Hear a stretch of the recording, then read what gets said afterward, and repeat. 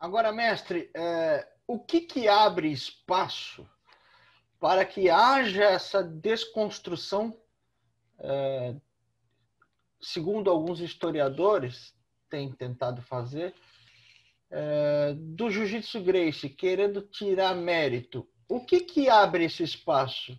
Onde é que o senhor acha que está a fragilidade?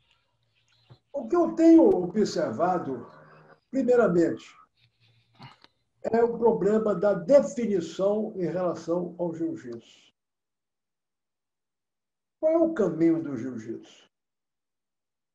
Qual o objetivo do jiu-jitsu? Então, você não pode falar em objetivo se você não define.